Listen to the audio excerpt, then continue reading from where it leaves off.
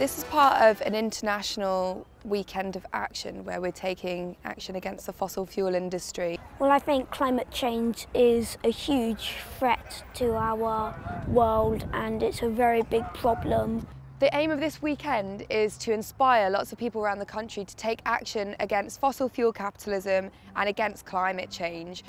That's meant to be an aeroplane up there, and cars and buses, cut down tree and big polluting things there and yeah hope you can read that and it says fossil free future at the top. I'm here at Didcot Power Station because Didcot is at the crossroads and really is symptomatic of where we are as a country in terms of our energy system.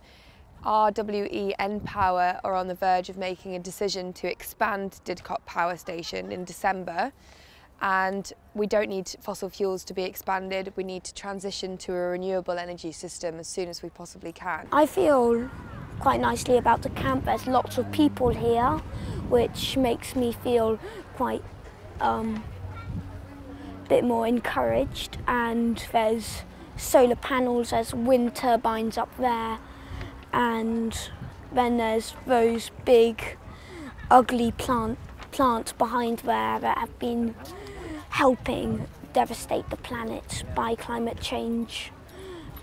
And luckily, three of them were blown down just last year, but there are still three left. And I want to see those blown down as well. We should leave all of the fossil fuels where they are in the ground, in the soil, and there are so many different things that people can be doing, you know, whether it is coming to an action camp like this or whether it's getting involved with the divestment movement, whether it's tackling the root causes of poverty and climate change by tackling capitalism. There are so many different things that people can be doing. We should stop now. We should have stopped a long time ago and now it's at its worst. So if we are to see tomorrow, we got to stop now.